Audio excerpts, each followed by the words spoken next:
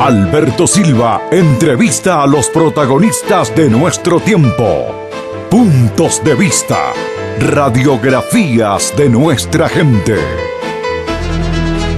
Hoy compartimos el punto de vista de...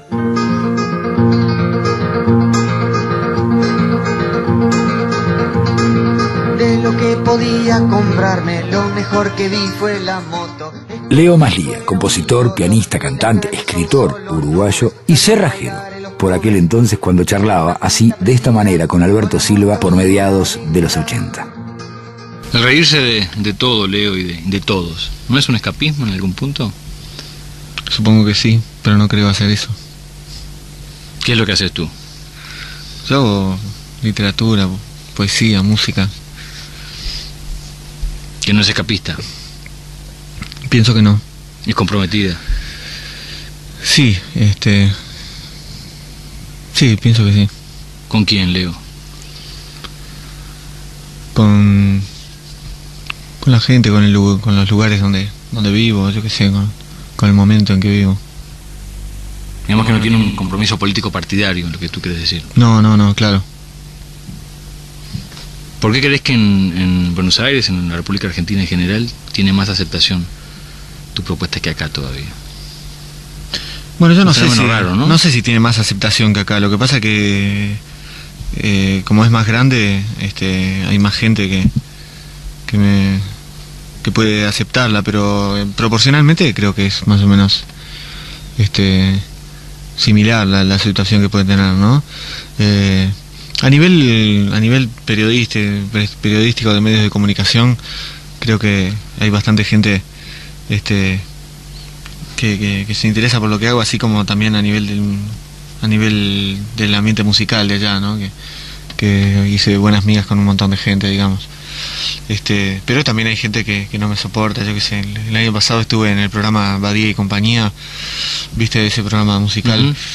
que, Creo que llega ahora a Montevideo. ¿no? Sí, sí, sí, sí, parece que empezó a llegar.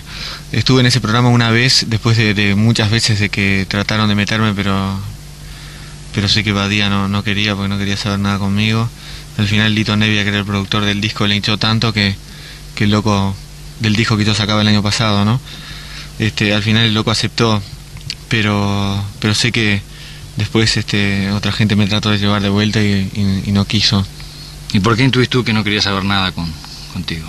Porque le parece que, que es muy, muy malo lo que hago. O sea que aún críticos piensan que es muy malo lo que tú haces.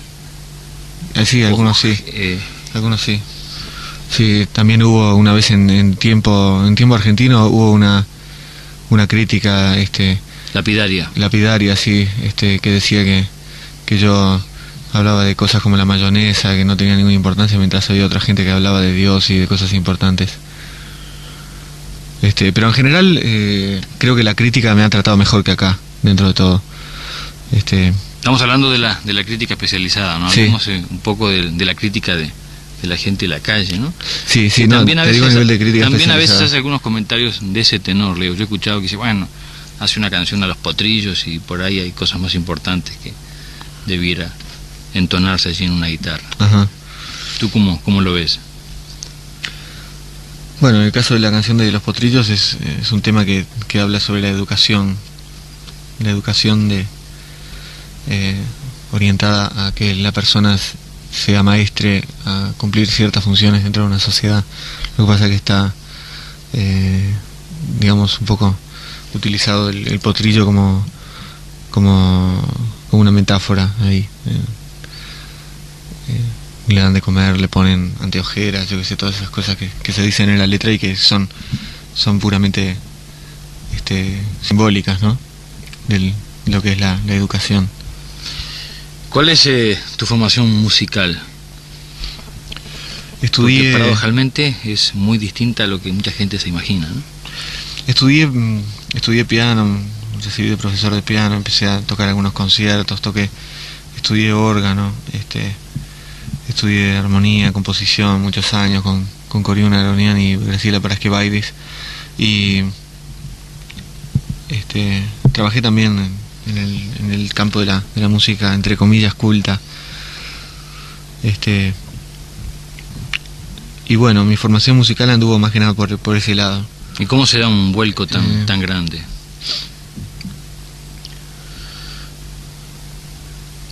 porque siempre sentí la necesidad de, de hacer algo que, que pudiera eh, ir más allá de, de los estrechos límites en que se mueve la, la música esa llamada culta, ¿no? Eh, sin ir al- más allá de, de esas élites que, que son las que acceden a, ese tipo de música. Siempre quise eh, trascender esos, esos límites y poder hacer algo que, que, que pudiera llegar a más gente. Pero digamos que ha perdido mucho de, mm, de esa raíz culta tu música, ¿no? ¿O tú crees que no? Bueno, no, no, sé si, si eh, mi música tiene raíz culta, ¿no? Digamos que es, es mi formación, pero bueno, de alguna manera muchas de esas cosas supongo que se reflejan en, en mis canciones. Fíjate que hice canciones como El Concierto, como Sonata del Perro de Mozart, que es una tiene forma de, de- sonata de- de- del siglo XVIII. Yo que sé, pienso que, que, hay una cantidad de cosas que de, de todo eso que están presentes dentro de lo que hago. Hice canciones con utilizando la, el sistema dodecafónico de, de Arnold Schoenberg. Yo que sé, hice cosas que, que creo que está muy presente toda mi formación musical en ese campo, pero eh, pero también eh, me valí de, de- de otros elementos propios de la música popular. ¿Tú integras el canto popular? No sé si alguien lo integra en este momento. ¿O lo integraste alguna vez? Sí, como no, supe integrarlo. ¿Y por qué en este momento no sabes si lo integras? Porque no sé si existe. ¿Tú crees que hay dudas de que pueda existir o no pueda existir? Sí, eh, no, no sé si, si hay este suficiente movimiento de cosas como para que se pueda llamar de que el canto popular o lo que se llama- lo que se llamaba hace unos años canto popular sigue existiendo, ¿no? ¿Tú ves en la cantidad de, de discos que se editan, en la, can- en la poca cantidad de No, recitales? claro, sí, sí, me refiero a eso, sí, sí, sí. ¿Y a qué atribuís esa situación? Y, y además al hecho de que el espectro de la, de la música popular se ha diver- diversificado bastante y hay, eh, digamos, han surgido otras propuestas que... este, Irrupción de gente joven. Que son... Que, que, que no se alineen, que no se... ¿Cómo se dice? Que no quedan así alineados. Que, que exactamente dentro de lo que eh, se llamaba canto popular, ¿no? ¿Estás contra la línea del canto popular? ¿Cómo? ¿Estás contra la línea No, del no, canto popular? no, no, no, no, no. No, porque además esa línea nunca nunca existió como cosa muy muy definida, ¿no? Simplemente era Eran varias este, líneas en todo caso. Eran varias líneas juntas, digamos, ¿no? Sí, sí, más más bien eso.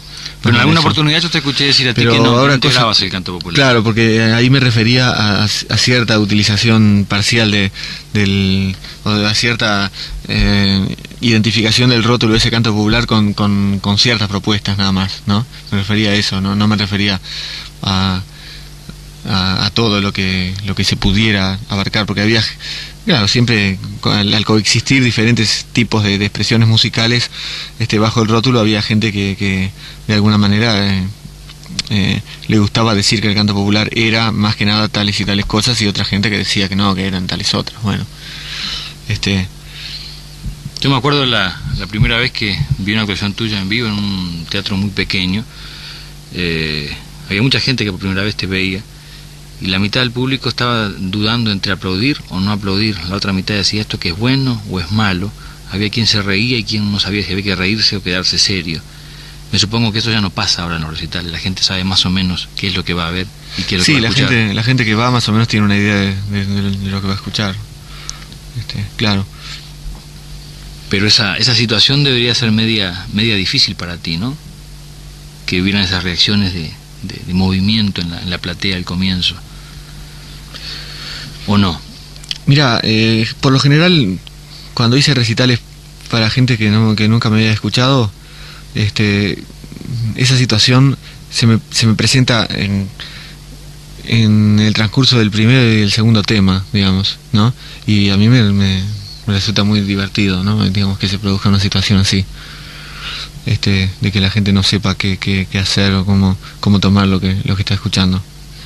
Este, y además en general yo qué sé si si las veces que he ido con, con algún amigo con algún yo qué sé representante sonidista con alguna cosa así que, que, que me acompañara este, siempre un poco jugamos a ver qué es lo que, qué es lo que pasa en esas primeras canciones, ¿no? Con, la, con las caras de la gente.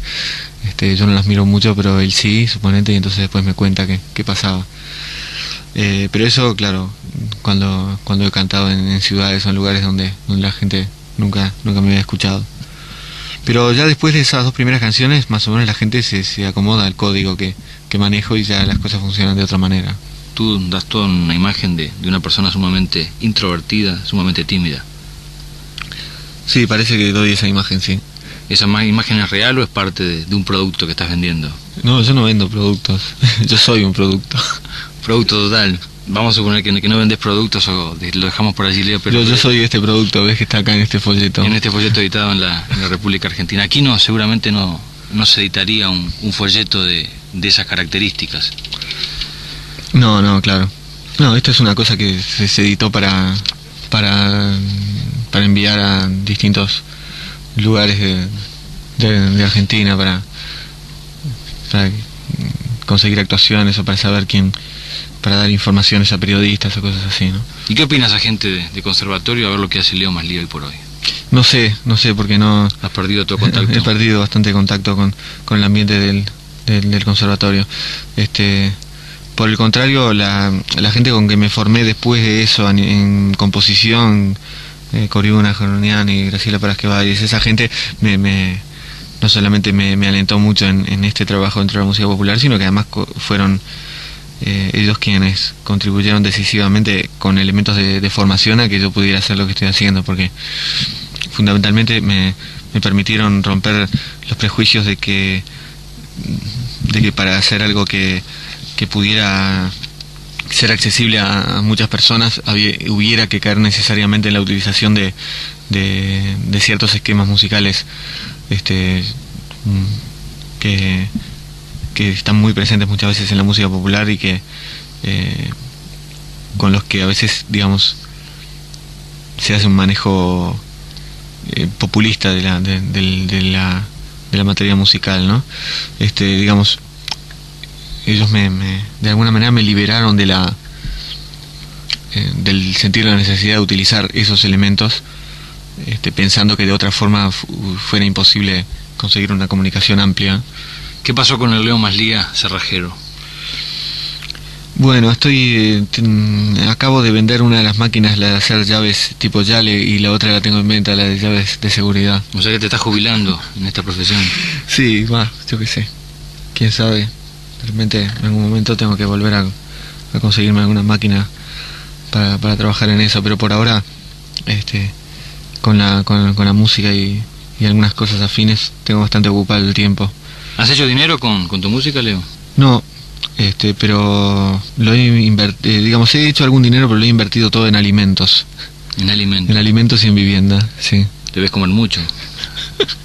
¿Te parece? No, no, te pregunto. No, también tengo una hija que come. No mucho, pero... No, digamos que la música me da para, me da para vivir. Puedes mantenerte. me mantengo más o menos con la música y con el sueldo de mi mujer. Lo cual es toda una, hazaña, porque incluso en este mismo espacio hemos estado hablando con varios músicos del canto popular y todos manifiestan su problema, ¿no? De que el medio no permite ser profesional. Sí, sí, sí, sí. Realmente es bastante difícil, pero por suerte yo lo estoy haciendo más o menos. Eh, ¿Cómo era eso de, convivir la, actividad de, cerrajero con la de niño maldito allí en el canto popular? Bueno, eh, digamos que yo centraba todo, toda mi labor en la cuestión creativa, ¿no? que yo la, la podía desarrollar en cualquier momento del día mientras trabajara en cualquier otra cosa, ¿no? Este, en cambio, luego cuando, cuando dejé de, trabajar eh, como cerrajero tuve la posibilidad de dedicar más horas a la, a la práctica de los instrumentos, o que sea, a, eso, ¿no? Que durante todos los años en que estaba trabajando en, lo otro no tenía muchas posibilidades de hacerlo. Por carecer de recursos pecuniarios, la deuda externa en el Uruguay. Leo Maslía, hoy en el punto de vista en charla con Alberto Silva en una entrevista realizada por mediados de los años 80. ¿De dónde recoges tu influencia para toda tu, obra? De todos lados, de todos lados, de, todo lo que lo que veo, lo que lo que leo, lo que oigo. Pero hay algunas que son más marcadas que otras, se me ocurre. Es posible, pero pi- pienso que es muy difícil que, un, que uno mismo eh, esté autorizado a, saber cuáles son la- las- cosas que, que influyen más en uno, porque creo que esas cosas requieren un estudio muy, muy profundo, ¿no? Eh, de poder de- detectar cuáles cuáles son las influencias que uno tiene. Yo, a mí, por ejemplo, me influyen mucho las cosas que no me gustan. Las cosas que no me gustan este, me, influyen muchísimo, porque eh, me dan me dan un montón de, de ideas, ¿no? Suponete, voy a ver una película que no me gusta o, o leo un libro que no me gusta, se me ocurren ideas de, de cómo tratar un tema similar de, de otra forma que, que me parezca más, eh, más útil o, o más, o más, eh, más profunda, ¿no? Este, bueno, Hablando de, de ideas, ya que has propuesto una, una idea bastante descabellada de cómo pagar la deuda externa. ¿te has conectado con dirigentes de partidos políticos para proponerle tu, tu iniciativa? no, no, no. Eh, ¿No están tus cálculos? no, eh, Por ahora no, no vas a incursionar en la arena política. pienso que no, este, no está dentro de mis, dentro de mis inquietudes, este, más allá del hecho de que de alguna manera la, la canción o cualquier actividad artística tenga implícita una cierta postura política. ¿Qué esperas de, de la música de aquí en más? Espero diversión, placer. O sea que estás eh, eh, muy cerca de, de este grupo de, de jóvenes que han eh, irrumpido en, en- en la escena musical. Jóvenes de 17, 18 años que con una propuesta nueva están... Muy cerca porque, Porque también me han contado en este mismo espacio que ellos esperan diversión, esperan ¿Ah, sí? placer de la música. qué bueno. Me parece bien. No sé qué opinas de todo ese fenómeno de, de gente joven. Eh, ¿Te referís a los grupos de rock? Ujú. Mira, hay dos que me, me parecen muy, muy buenos. Los estómagos y los tontos. Me parecen excelentes. Este, en el, en el caso de los, de los estómagos, lo que más rescato es la, es la parte musical, el criterio de, los arreglos. Me parece un trabajo musical muy, muy fino y, y de, gran, de gran importancia. En el caso de los tontos, mm, más rescato la, la parte de textos y, la interpretación vocal eh, en el canto y todo eso y, los textos también que en su mayoría me parecen muy buenos, me parecen una, cosa muy muy muy fresca y muy este eh, realmente una expresión de, del, del momento ¿no? como, como texto. Después de, de, de muchas eh, de mucha gente de repente de la misma generación que, que intentaba, se retorcía en laberintos este eh, de laberintos poéticos un poco sin, sin salida, ¿no? Eh, había visto mucha gente que estaba como sin saber qué decir en las letras y dándole vueltas y vueltas a, a formas poéticas muy muy agotadas. Este, y los textos que, que están en el repertorio de los tontos en ese sentido me parecen una puerta abierta hacia un montón de cosas, ¿no? ¿Y cuál crees tú que es el- la explicación a ese fenómeno que la gente muy joven, de 15, 16 y 17 años, se sienta tan identificada con, con estos nuevos grupos? Y porque de alguna manera lo- los representan, los, los representan eh, eh, como, como sentir, como, como pensar. Digamos que toda la otra generación en la cual estás tú comprendido mm, dejó como un vacío allí con respecto a estos jóvenes, en la temática, en la, propuesta musical. Y supongo que sí, supongo que sí.